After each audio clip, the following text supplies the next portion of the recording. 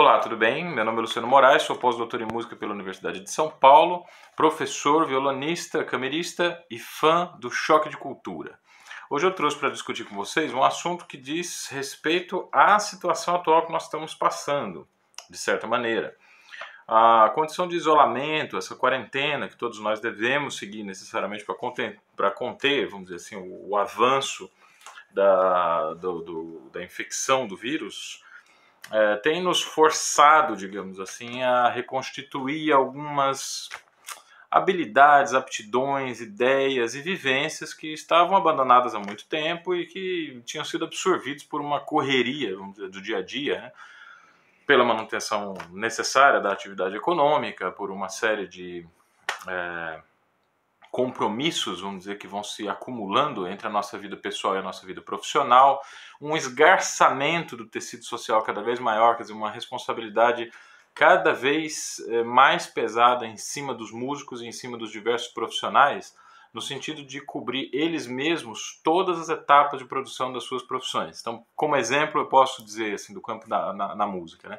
Não basta você ser só um músico bom, um músico eficiente, você tem que ser também o seu próprio produtor, você tem que ser o seu próprio empresário, o seu próprio assessor de imprensa, e tudo isso torna a atividade musical muito frenética, muito complexa, muito difícil e também muito desfocada. E nós percebemos o quanto essas atividades é, paralelas e auxiliares, que se fossem delegadas para outros profissionais, dariam mais tempo para os músicos cuidarem da formação e da qualidade dos seus produtos, vamos dizer assim, dos seus produtos artísticos, nós teríamos uma qualidade é, da música produzida muito diferente da que nós temos hoje. Pois bem, veio o coronavírus, veio a quarentena e está nos forçando a concentrar as nossas energias naquilo que é possível e naquilo que, se, que vamos dizer, aquilo que são as nossas necessidades mais imediatas. Então, nosso contato com os familiares, nosso contato com nossos com os, os hábitos de formação mais profundos, as coisas que são mais importantes para a gente realizar. Nesse momento, tudo está passando por uma revisão. A gente está como que reorganizando toda a nossa casa.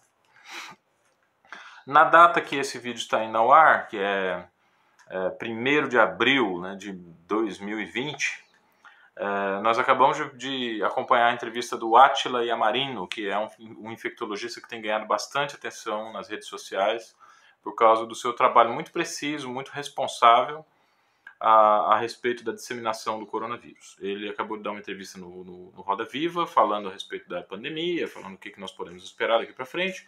E ele foi bastante claro, bastante taxativo ao dizer que uh, o mundo como nós conhecemos hoje, depois da pandemia do coronavírus, ele vai ter que mudar necessariamente. Nós não vamos encontrar mais as mesmas formas de relacionamento com o, o, o sistema de produção de riqueza que nós, uh, que nós tínhamos até agora. Isso significa também mudanças muito radicais em relação à arte.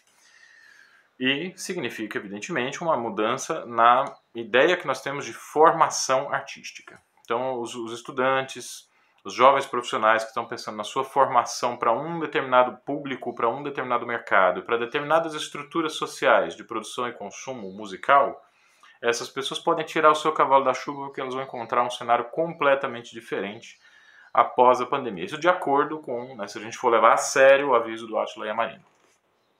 Eu achei até que ele foi um pouco suave demais na atribuição política das responsabilidades, mas enfim, isso aí é uma questão para um outro, um outro debate, um outro momento.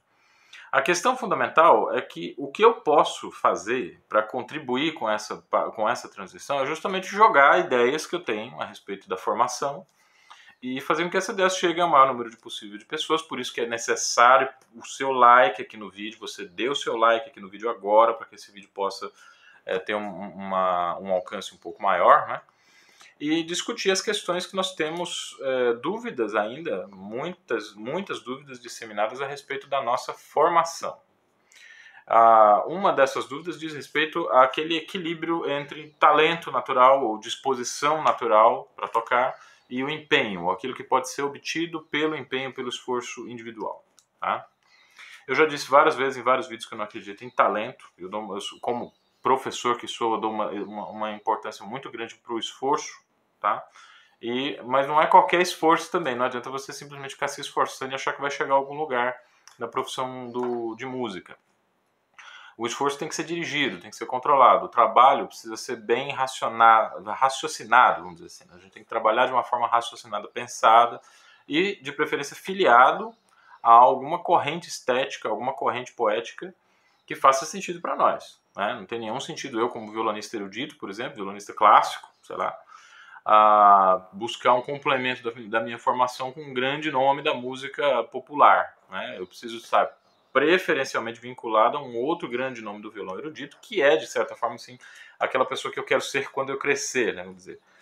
É, lógico que outras vertentes musicais são extremamente bem-vindas e são complementares, mas a minha formação central, isso tem que ser decidido. Tá? É, outros aspectos importantes da, do cuidado com a formação, que eu acho que são, serão necessários ter daqui para frente, é, a gente pode discutir assim com eventualmente cada tópico desse pode ser desdobrado em um vídeo específico, tá? Mas vamos discutir o aspecto do equilíbrio do tempo de estudo. Tá? Esse aspecto ele é alvo de muitas angústias. Tá? Os estudantes pensam que em cada sessão de estudo eles precisam fazer todos os ligados, todas as escalas, todas as fórmulas de arpejo, todas as fórmulas de acordes, tocar o repertório, passar o repertório do começo até o fim, e isso não é possível por uma razão muito simples. O tempo ideal de estudo não é um tempo muito grande. O estudo excessivamente prolongado pode levar a desgaste de articulação e a cristalização de reflexos que não são muito salutares. Pensem assim, quando a gente está praticando, a gente fixa reflexos. Nem todos esses reflexos são bons porque ninguém é Deus. Nenhum violonista consegue perceber em si mesmo, em todo o seu alcance, qual é a eficiência dos reflexos aprendidos. Muitos desses reflexos vão provar sua eficiência ou ineficiência a partir de um tempo muito grande de uso. Tá? Então é necessário que a gente tente fixar os elementos, fixar os conceitos, claro, mas não fixar a ponto deles se transformarem em automatismos patológicos que vão ser difíceis de desaprender depois se for necessário. Tá? Então é por isso que eu digo que o tempo de estudo também não pode ser essa coisa louca, assim, de às vezes que a gente tem quando é adolescente, né, de estudar 10 horas por dia, 8 horas por dia. É uma coisa que deve ser evitada com todas as, as, as ressalvas possíveis. Tá? Aí vocês podem me dizer assim, então como que a gente define um tempo médio, né? Como que a gente define um tempo bacana de estudo? Bom, antes de mais nada, é necessário dizer que todas as recomendações, orientações e discussões desse vídeo estarão abaixo das recomendações e orientações do seu professor presencial. Então, o professor presencial que é a pessoa que te conhece, que sabe como que você reage a situações de estresse, que sabe como que você responde a estímulos, que sabe qual é o seu, a sua ambição com a música, onde você quer chegar, o gosto do, do o seu gosto para o repertório. Essa é a pessoa que está te acompanhando, ela que vai poder é, é, dizer aquilo que você precisa no seu caso específico, tá? Mas essas recomendações elas podem ser entendidas assim como ideias, como sugestões a serem experimentadas. As pessoas podem experimentar no, no curto prazo algumas das recomendações que eu tenho dado no canal e vou dar aqui nesse vídeo também, tá? Uh, o, o tempo de estudo ele varia o tempo possível de estudo, vamos dizer assim, ele vai variar aí de duas horas de trabalho até, sei lá, o tempo de um expediente normal, que seria seis a sete horas. Quando eu falo seis a sete horas, se você chega a seis horas de estudo, é porque você tem oito horas disponíveis para estudar. Essas oito horas disponíveis, você fala assim, mas como assim? Né? São seis horas de trabalho diretamente no violão, mas é necessário fazer pequenas pausas a cada meia hora, a cada 25 minutos, tá? E essas pausas somadas com o tempo de prática realmente vai dar ali 7 horas de trabalho, 8 horas de trabalho. Então é um expediente completo. Ser músico é se dedicar a um expediente completo. Agora, a gente tem que dizer que a compreensão musical define também a quantidade de horas que são necessárias para dominar uma peça. Alguém que tem uma compreensão histórica, estética, harmônica, teórica, tem condições de compreender uma obra com mais velocidade, com mais rapidez. É uma, uma coisa que alguém levaria, sei lá, um mês para aprender, uma outra pessoa que tem uma experiência maior ou tem um conhecimento mais aprofundado a respeito de um daquele estilo musical que está relacionado àquela peça, pode levar, às vezes, uma semana. Eu tenho um exemplo, assim, dentro das minhas memórias como professor, né, de um, de um aluno que eu, que eu tive na Unixul, Sidney Raposo. Sidney Raposo, eu, eu usei o Sidney como uma espécie de cobaia para experimentar um método que foi publicado pelo Karl Leimer, que é um professor de piano do começo do século XX. O Leimer recomendava aos seus alunos que lessem a partitura primeiro sem o instrumento, decorassem a peça sem o instrumento e depois passassem a estudar a partir daquelas ideias que eles tinham memorizado. Eu fiz isso com o Sidney, com uma peça que era bem abaixo do, do nível do repertório dele, uma peça que para ele seria muito fácil tocar. E assim, eu sugeri mais ou menos quais eram os passos que ele tinha que seguir, fazer uma leitura analítica, considerar quais eram os acordes, perceber quais eram as notas de passagem. Era um estudo do SOR, realmente não muito complicado para tocar. E o Sidney trouxe essa peça para mim na semana seguinte, memorizada e linda. Assim, uma peça estava tocada como eu nunca vi ele trazer uma leitura tão musical, tão completa, tão perfeita, né? E isso se deveu, evidentemente, ao impulso que ele tinha de aplicar esse método da maneira é, conveniente. E ele era um sujeito extremamente inteligente também, uma pessoa muito lúcida, acordada assim, para várias coisas, não só para a música. Né? Mas a gente tem que dizer que existe um, um papel aí para o método também. Né? E esse método de trabalhar fora do instrumento, para depois pegar o instrumento e praticar, ele já relativiza um pouco essa questão das oito horas por dia de estudo. Uma parte do estudo de violão precisa ser empregado no estudo da teoria, no estudo da análise. Porque quando vocês olham para a partitura, vocês eh, conseguem ver somente notas, não conseguem estabelecer relações entre essas notas, isso significa que a formação é deficiente. Um músico, quando olha para uma partitura, ele vê um show, ele vê um jogo de futebol, ele vê, ele vê um filme de ação, sabe? Essas coisas que nós temos que nos assustam, que nos emocionam, que nos empolgam, porque são informações que estão sendo jogadas e a gente consegue processar essas informações. Um violonista precisa ter essa capacidade de reação diante de uma partitura. Tá? Ele tem que saber o que, que significam aquelas bolinhas, como é que essas bolinhas se relacionam. Né? E isso exige uma formação teórica, e a formação teórica exige tempo. Não, não pensem vocês que vocês vão conseguir adquirir uma formação teórica super profunda estudando 8 horas de violão por dia. É preciso parar, deixar o violão pendurado e estudar um pouco de teoria musical. Estudar um pouco de estética, estudar um pouco de filosofia da música, conhecer as outras obras de arte, isso, tudo, isso é muito importante, isso é fundamental para que a gente consiga fazer do, das nossas horas de estudo de violão espaços de tempo criativos. Tá? Quero falar com vocês também sobre a, chamada teoria das 10 mil horas. O que, que vem a ser a teoria das 10 mil horas? Bom, isso é baseado em um estudo de um, de um cientista, um pesquisador chamado Anders Ericsson, que publicou em 1993 uma série de estudos a respeito do de, de, atividades de alto desempenho. Então, atletas, corredores, enxadristas, músicos, né, todo, esse, todo esse pessoal foi analisado por ele, uma série de gráficos, estatísticas, quanto tempo que esse pessoal estudou, acompanharam várias pessoas durante vários anos. E o Erickson chegou à conclusão, então, que para chegar a qualquer nível de excelência em qualquer atividade que seja, você precisa de 10 mil horas de trabalho. Ora, olhando assim parece uma coisa muito absurda ou muito inalcançável. Algumas pessoas realmente chegam a, a duvidar de primeira. Eu mesmo, quando vi o dado, quando vi a conclusão do estudo, falei, mas isso é uma tremenda uma bobagem, né? Todo mundo sabe que o estudo depende muito da compreensão individual de cada um, depende do método, depende da escola, se você estuda direito ou se você não estuda direito.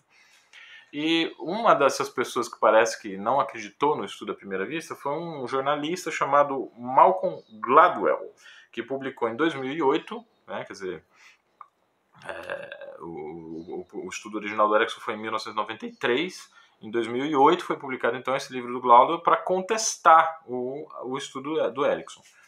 E ele havia documentou alguns casos em que as pessoas atingiam níveis de excelência com menos horas de trabalho, né? E essa diferença parece que era significativa, ela não era assim, não estava dentro da margem de erro, né? era uma diferença de dobro, uma coisa assim. E o Anders Ericsson teve a oportunidade de responder a esse estudo de uma maneira muito elegante, dizendo assim, olha, o livro do Glodal é muito bom, só que ele não entendeu o que eu mesmo escrevi. Quer dizer, ele estava respondendo a uma dúvida que, que o próprio Ericsson já tinha abordado no seu estudo.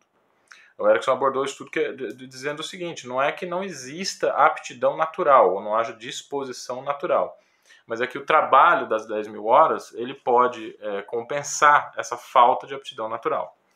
Eu vi isso acontecer com os meus próprios olhos. Tá? Eu vi vários dos meus colegas mais talentosos abandonarem a profissão e alguns dos meus colegas menos talentosos chegarem muito longe no desenvolvimento das suas habilidades musicais. É claro que para você encarar 10 mil horas de estudo até chegar à proficiência em uma determinada atividade, você tem que ter um pouco de gosto pela coisa, né? E o gosto pela coisa é o que vai te fazer estudar mais, com mais atenção, é o que vai te fazer se ligar nas atividades e nas, nas, nas vamos dizer, elementos de formação é, complementares que vão te dar uma inteligência maior, que vão te dar um, um, contato, um convívio maior com os elementos específicos daquela profissão. Então, a pessoa, por exemplo, que gosta muito de música, ela não vai ficar oito horas por dia só estudando violão, a menos que, né, não sei, ela é realmente é um prodígio da má utilização do seu tempo. Essa pessoa vai gostar de conversar com gente a respeito do violão. Essa pessoa vai gostar de assistir filmes sobre música. Ela vai gostar também de assistir é, filmes sobre outras artes que não necessariamente toquem na questão do, do instrumento, do violão, da música. Ela vai perceber algumas semelhanças que existem entre é, o que cineastas, artistas plásticos falam e o que músicos falam essa pessoa vai ter uma solidariedade, ela vai ter uma empatia maior com outros tipos de artistas, como atores, por exemplo, que têm tido uma forma de trabalho muito parecida com a dos músicos. Né? E ela vai necessariamente enriquecer a sua cabeça de conteúdo útil, que vai fazer com que essas horas de estudo sejam aperfeiçoadas, né? elas sejam mais bem aproveitadas. Tá? Em relação ainda à teoria das 10 mil horas, eu fiz uma conta rápida, assim, uma conta selvagem, né, para ver quanto é que quanto, quanto que seria, como que seria essa questão assim do estudo das, das, das é, 10 mil horas para você chegar a um nível de proficiência em relação a uma profissão qualquer. Se a pessoa estuda 6 horas todo santo dia, incluindo sábados, domingos e feriados, durante um ano inteiro, ela vai terminar o ano com um saldo de 2.190 horas mais ou menos. Para chegar em 10 mil horas de trabalho, ela tem que passar, ela tem que esperar 4 anos e meio tá? para atingir esse grau de proficiência. Me parece absolutamente impossível atingir esse resultado, porque ninguém consegue estudar 6 horas por dia durante 4 anos e meio. Eu não acredito nisso. Eu duvido, eu desafio vocês a encontrar qualquer pessoa que, estudando seis horas por dia, depois de uma semana, ela não olhe para o violão querendo destruir o instrumento, querendo jogar o instrumento pela janela, querendo fazer alguma outra coisa que não seja aquilo que ela está fazendo. Além de que, seis horas por dia, né? A, a lombar não aguenta, a coluna não aguenta, os dedos não aguentam, né? não dá. Durante um período muito prolongado, isso realmente não faz bem para a saúde, nem mental, nem física. Agora, quatro horas, quatro horas por dia já é mais possível, hein? Já é uma coisa assim um pouquinho mais tranquila, já é um pouquinho mais leve. Apesar de eu estar proibindo as pessoas aqui de ter feriado, de ter sábados, domingos, não pode, tá? Quatro horas por dia. Em um ano você estudou 1.460 horas. Para completar 1.460 horas por ano e chegar nas 10 mil, você vai gastar 6,84 anos parece menos distante. Seis anos são duas graduações curtas. As graduações hoje em dia estão três anos na média. Né? Então, aquele período de duas graduações, estudando quatro horas por dia, todos os dias, durante 6,84 anos, aí você vai conseguir essas 10 mil horas aí, que é o que o Erickson uh, diz que ser necessário para atingir um alto grau de proficiência. Vamos ser um pouco mais realista e abaixar esse número diário de, de horas de estudo para 3. Vamos pensar que a pessoa estuda 3 horas todos os dias, na média. Vai ter horas que você estuda um pouco menos, você estuda 2 horas.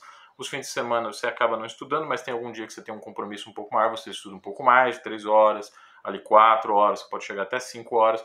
Na média, você mantém ali aquele período gostoso, 3 horinhas, todo santo dia, bem divididinho, bem é, sem, assim, três horas não é suficiente para você chegar num ponto de estafa mental com o instrumento. Três horas por dia durante um ano, 365 dias, são 1.095 horas. Para chegar às 10 mil, você precisa de 9,13 anos. Atenção para esse número, gente. 9 anos e um mês e três dias. Uma graduação bem feita leva 4 a 5 anos para ser concluída. Estou dizendo uma graduação em, em violão, né, por exemplo. Uh, mais quatro anos é o período do curso técnico. E um ano a mais seria o período de iniciação, que é aquele período que as pessoas estão meio na dúvida ainda, não sabe se vão, não sabe se vêm, estuda um pouquinho aqui, um pouquinho ali e tal. Quer dizer, nós estamos falando de dois blocos de tempo onde você vai dedicar a um nível de formação específico. A sua formação básica, a sua formação, né, vamos dizer, correspondente ao ensino básico, ao ensino fundamental, ensino básico e ensino médio. Né? Nós também temos esse período em, em, instrução musical que é chamado de conservatório. O conservatório dura mais ou menos isso mesmo, 4 a 5 anos. A graduação, eu falei 4, 5 anos, porque eu fiz a minha graduação em 4 anos e meio, mas às, às vezes tem gente que, ok, com a graduação em 3 anos, né, sei lá. É preciso fazer uma complementação um pouco posterior, mas de fato é possível fazer uma graduação em três anos.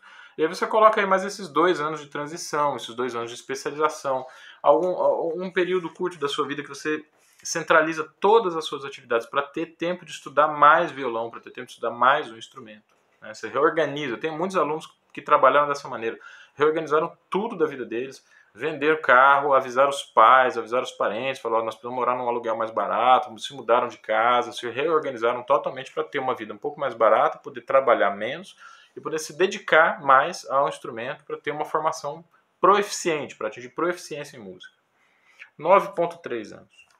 É muito, é, é, é, me parece muito lógico, me parece muito claro isso e muito visível na, na experiência docente que eu tenho na, na, na minha experiência como uh, hoje olhando para minha própria formação o que eu fiz foi mais ou menos isso mesmo eu estudei cinco anos num conservatório antes de entrar na Universidade de São Paulo e lá estudei quatro anos e meio meu tempo de formação foi justamente esse foram nove anos e alguma coisa eu estudava, eu lembro assim, eu tenho uma memória de ser um, um cara que, que estudava bastante violão, tá? mas eu nunca fui uma pessoa assim de estudar oito horas em dia, e não, nunca fiz. Nunca fiz. É, eu chegava a ficar muito cansado quando eu conseguia atingir minhas 5 horas diárias. E essas 5 horas aconteciam em espaços de tempo muito curtos, que compensavam eventuais períodos da minha vida que eu não podia tocar, simplesmente, porque, enfim, tinha obrigações em casa, tinha coisas que eu tinha que cuidar realmente na, na, na minha casa, desde muito novo, desde muito cedo. E era necessário, então, disponibilizar esse tempo para outras atividades que não fossem somente a do violão. Tinha escola também, né? A escola toma bastante tempo da, dos estudantes antes de entrar na faculdade. Então, a universidade ela veio como esse período em que eu ganhei esse tempo, mas eu já tinha uma formação prévia que poderia é, me levar a um grau de proficiência grande.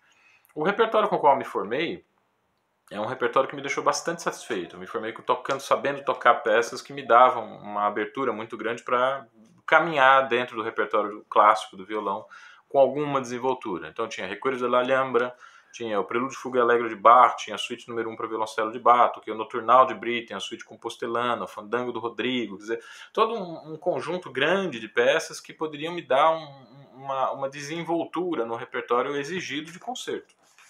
Eu estava feliz, né? Quer dizer, foram a minha própria trajetória demonstra, ela é uma, ela é uma demonstração prática dessa teoria do Erickson das 10 mil horas. Eu estudei cerca de 9, quase 10 anos para poder ter uma vida na música, para poder me profissionalizar na música. Ou seja, gente, formação é uma coisa de longo prazo.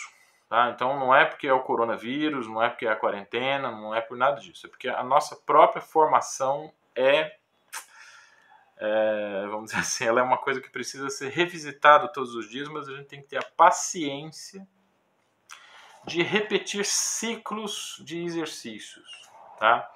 Então, por exemplo, vamos pensar nessa média, essa média amigável, essa média amistosa, de 3 horas de estudos de violão por dia. Dividam esse tempo de acordo com os tópicos que vocês já conhecem. Nós sabemos que nós temos que estudar técnica pura, por exemplo.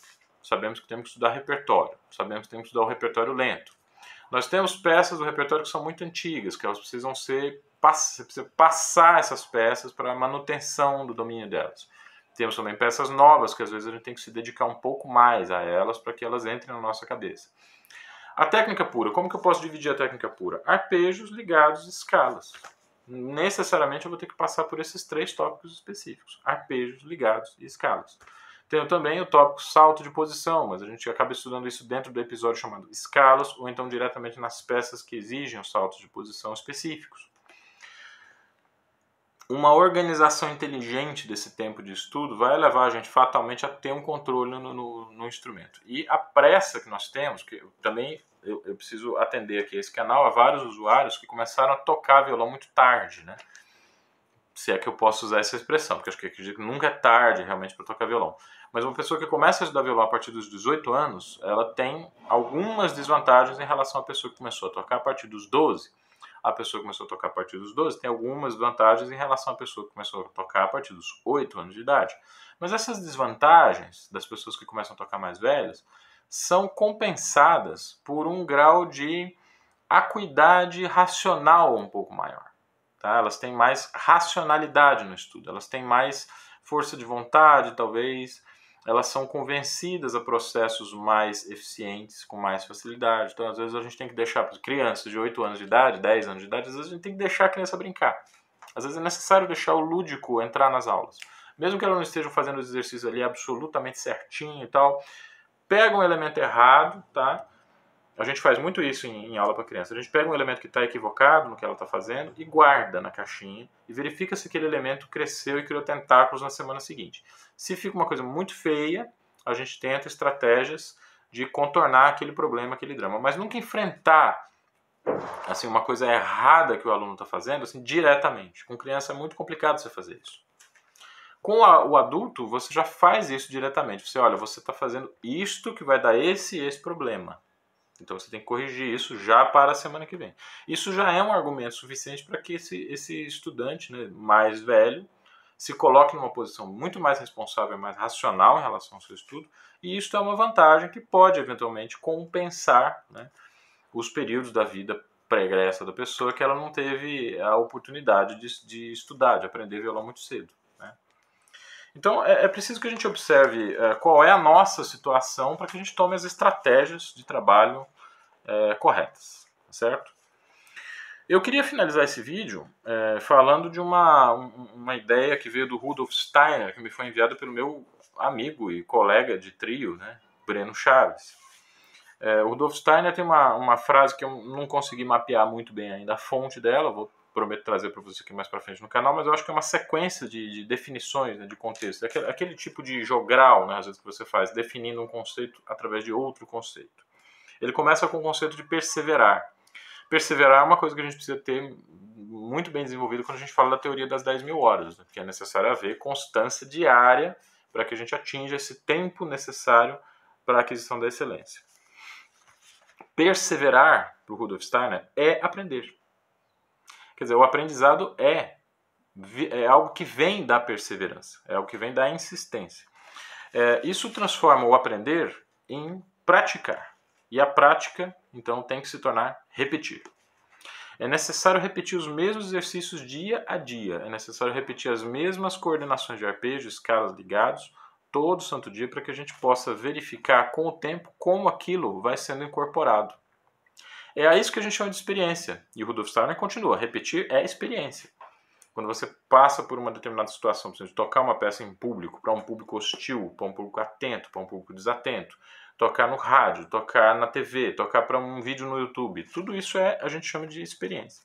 E muitas dúvidas que os estudantes têm, que eles perguntam para os professores, não podem ser respondidas sem que a gente passe necessariamente por isso. Olha, existem métodos mas a experiência também é um fator que vai te fazer aprender esse determinado tópico.